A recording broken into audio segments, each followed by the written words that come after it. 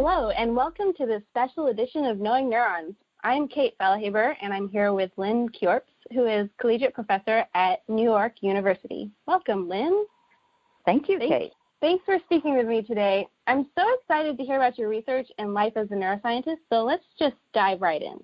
Okay. Can you tell me a little bit about your work? What are the major questions you're trying to answer in your lab? So, the question that gets me up in the morning is what is it about the brain that changes during development that allows visual performance to improve from basically the level of finger counting, you know, barely distinguishing different elements and uh, images in, in the world around the baby, to over the course of in humans, the first oh, three to five years after birth, they become so visually sophisticated um, that they can extract all of the information from the visual world that they need. And so, the, in a nutshell, what is it that's immature in the brain in babies that limits their performance? And what changes during development that allows them to develop normal adult vision? Thanks. That's really fascinating, actually, about the visual development of humans. Are there any translational implications for your findings? Yeah, there are lots, actually. One of the main issues that I focus on is a developmental disorder called amblyopia. Amblyopia is a, basically a loss of vision in one eye that results from something like crossed eyes. It's, the technical name is strabismus um, or blur in one eye, or even a cataract uh, that a baby might be born with. And what happens during development is that if you have abnormal vision through one or both eyes, then the brain doesn't develop normally. And so I'm interested in what goes wrong with the developmental process that actually makes it difficult for people to see after they have one of these disorders. And the, the particular translational implications of the work now is that I'm interested in the process of trying to improve vision in kids that actually have the disorder amblyopia. So this is a tricky problem. You may um, have seen or know a child that had to wear an eye patch or glasses or um, have their eye dilated all the time or, or something like that. These are common treatments for amblyopia. And the way they work is that what they try to do is penalize the better eye of the child and force them to use the eye that isn't as good. And that works if there's really good compliance, but it's tough on the child because the mom doesn't want to put a patch on the child and the child doesn't want to wear it and the kid sees them and anyway these are these are not fun things for a kid and so one of the things that I'm trying to do based on the work in my lab over the last 10 or 15 years is to try to develop different kinds of protocols for treating kids that will be a lot easier on the kids and that will actually help improve their vision generally.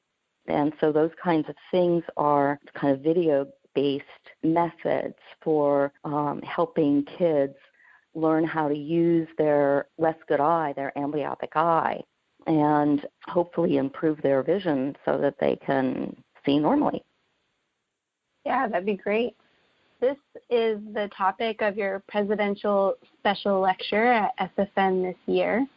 What's the main takeaway you'd like us to get from your mm. talk? The main takeaway is that there's a puzzle um, and the puzzle is that when we look at the neural activity in the brains of young animals in particular, what we find is that the neural function is really quite good compared to the behavioral performance. So, what that means in terms of a child is, as I said, young kids and babies see very poorly. They don't see the fine detail very well. But if you look at their neural activity, it's quite a bit better than what their ability to resolve spatial detail is. And so that's the basic puzzle. And what I'm trying to solve is why is there this mismatch between information that's available in the brain, but that the baby's not able to use it or that the young animal's not able to use it? the takeaway is that there are ways of thinking about neural activity that are different from just looking at the function of single neurons that may give us a better clue about what information is actually available in the brain and what some of these mechanisms are that actually limit performance. And what I think is going on is that there's a lot of the visual pathway that feeds forward to the motor output. So you see something in the world and the information comes into the eye and into the visual cortex and it starts to get processed and fed forward. And what my current hypothesis is is that some of these downstream areas where the information gets forward fed forward to are actually sites of immaturity. So you can think of them as being kind of critical immaturities in the brain. And that maybe what's happening is that these downstream areas have a much longer developmental time course than maybe early areas in the visual system. And they need to be kind of trained up during development. So the visual experience may be driving the development of these downstream areas. And when you have abnormal vision, then those downstream areas don't develop properly and so they don't don't get the right information. You end up with a visual system that's not normal. And so that's kind of where we're at right now. And and as I said, with discussing the translational ideas, is what I'd like to try to do is, is think of ways to intervene in that process to, you know, in a way, prevent the amblyopia from developing in the first place. Mm-hmm. So is amblyopia a result of the maturity of these downstream areas being much lower than it should be? That's the or, hypothesis. Yeah. Okay. Because even in so we have a, an animal model for amblyopia, and what we find in that model system is that kind of like the infant, the neural activity is much better than you would expect based on the loss of vision. And so, again, I have kind of converging evidence for the idea that there are limitations downstream, both in terms of normal development and that whatever that normal developmental process is, it's something that doesn't develop normally in amblyopia. Well, I look forward to hearing your whole talk at SFN. I'm excited to give it. Is amblyopia something you've been studying for a long time, or when did you get interested in this particular topic? It's actually something that I became interested in when I first started graduate school, and it was kind of a serendipitous thing in a way. I was a graduate student at the University of Washington in Seattle, and I was studying visual development and just really a, a freshly minted graduate student, just started, and a woman faculty member in ophthalmology came by. I had met her early in or early on when I first arrived, but she came by the lab one day and she said her name was Jennifer Lund, a, a famous uh, neuroanatomist, and who's now retired. In any case, she came by and she said, "We're going to be studying what she called squinty monkeys. It was an animal model for strabismus, this developmental disorder that I mentioned." Um, and what it basically is is crossed eyes. And she was interested in the effect that the strabismus was going to have on the development of the visual cortex in terms of the anatomy. And she knew that I was interested in, you know, behavioral studies of visual development. And she said, We're going to be studying these animals, and if you'd like to do anything to test them while they're growing up, feel free.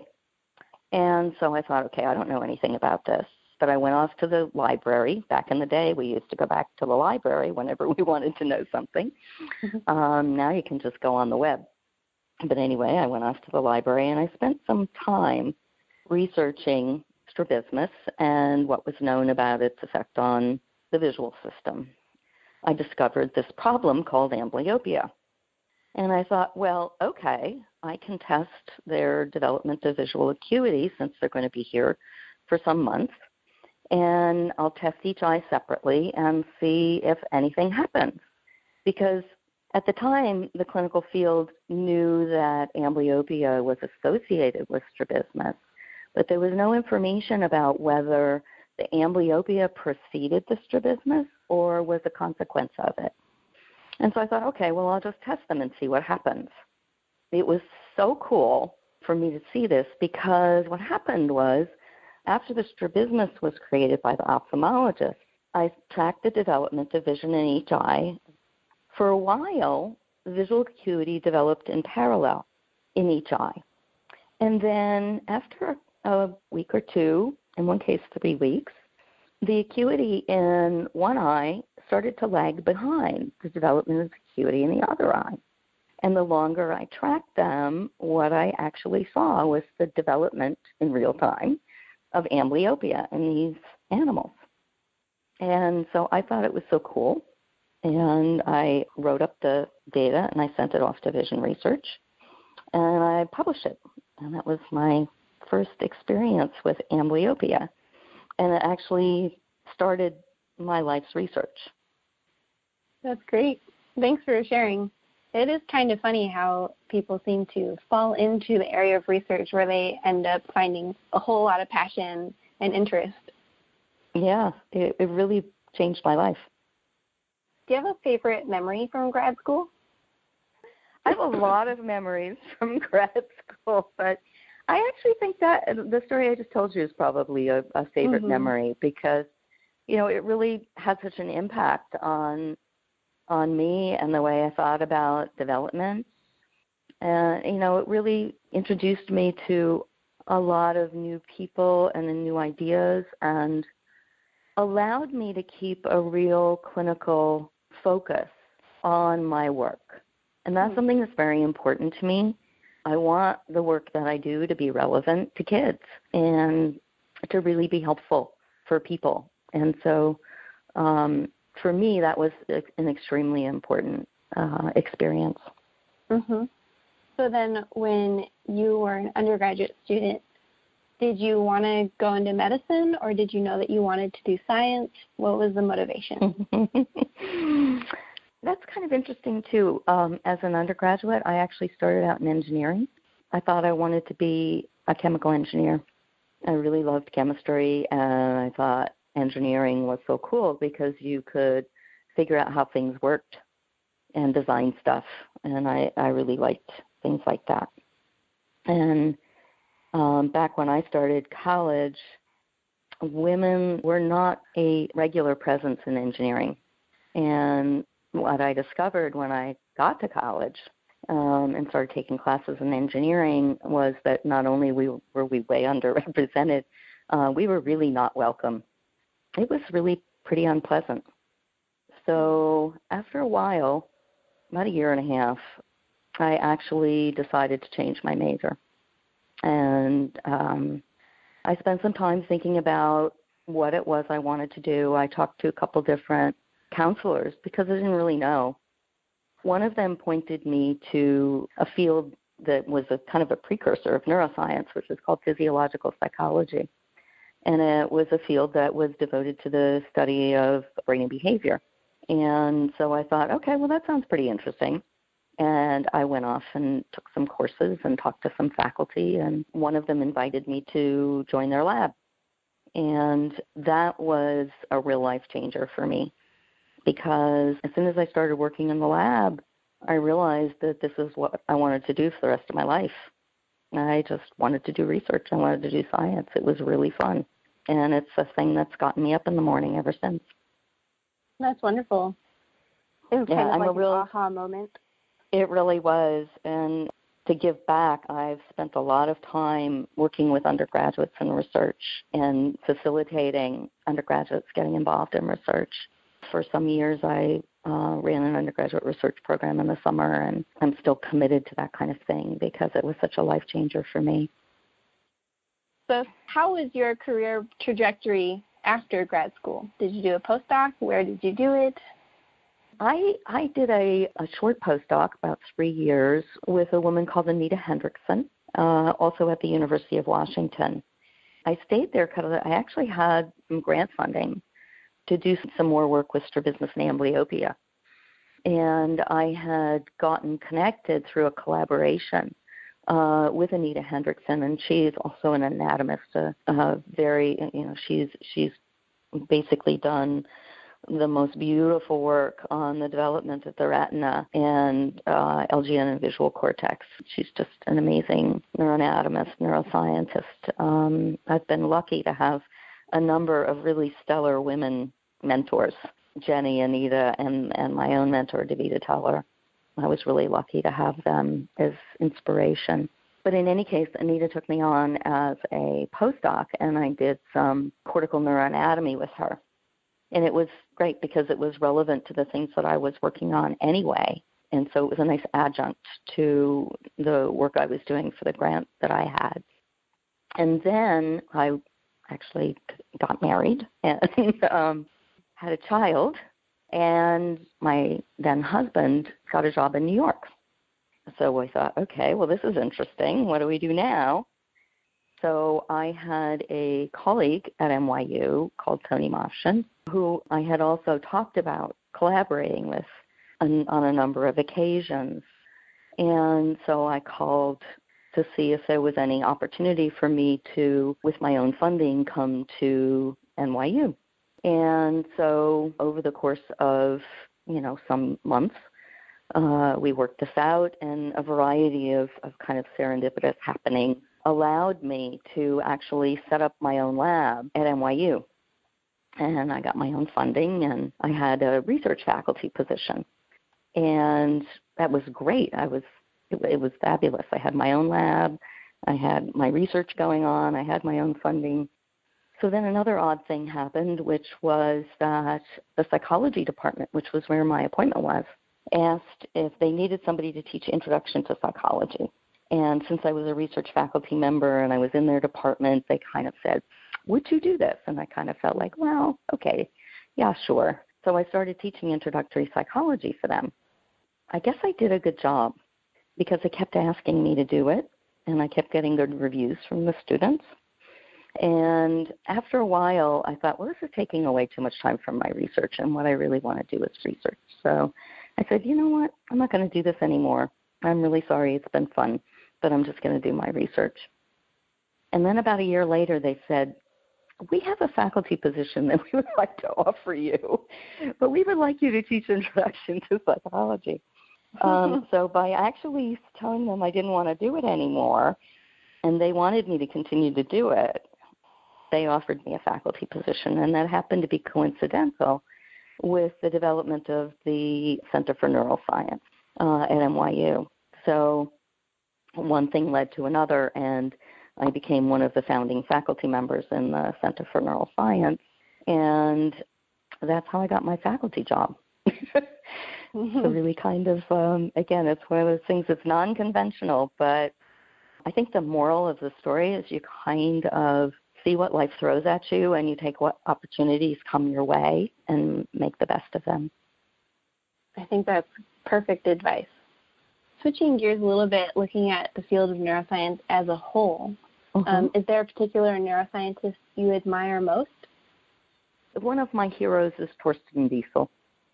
Torsten was somebody who was very inspirational to me, and his his early work with with David Hubel on uh, development of the visual system and the effective visual experience on the development of the visual system. And Torsten has been somebody who's been, you know, in a way, kind of an advisor to me over the years. He's a very generous person and is very active in mentoring young people I kind of called him out of the blue one day when I was still in Seattle and and asked him some questions about his work. He spent a long time with me on the phone giving me advice. I actually talked to him at one point about a postdoc opportunity. He was happy to meet with me. He's just a wonderful, warm person and a stellar neuroscientist that really changed the field.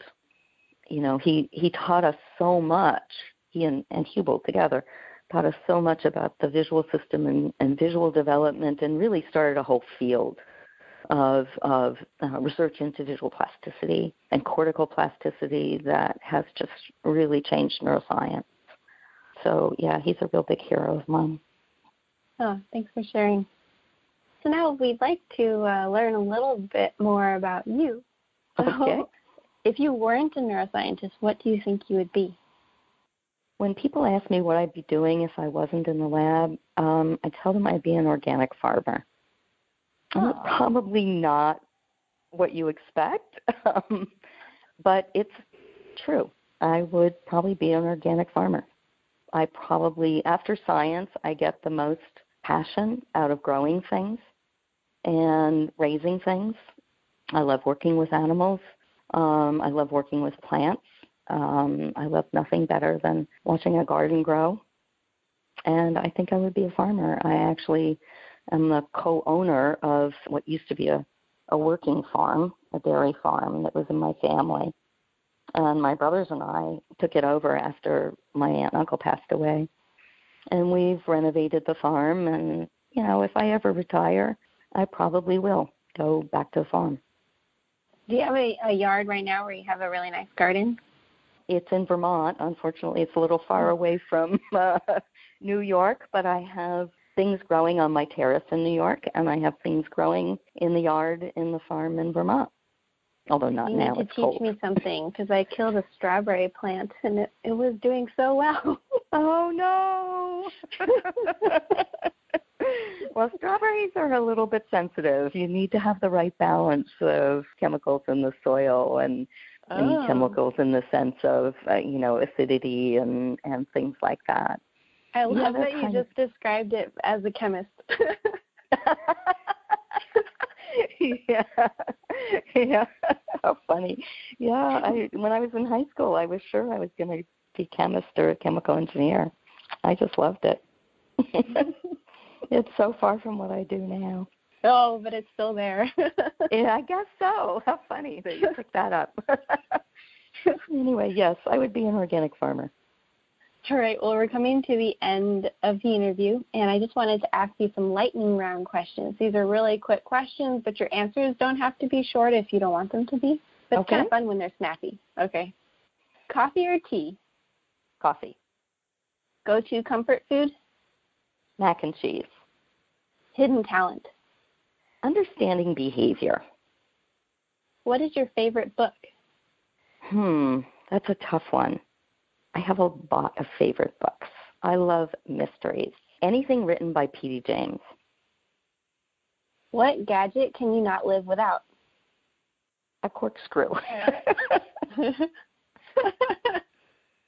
Where would you like to visit but haven't been yet? the Galapagos. If you could choose one person to dine with, dead or alive, who would it be? Charles Darwin. All right, those are all the questions I have for you. Uh, Lynne, is there anything else you would like to add?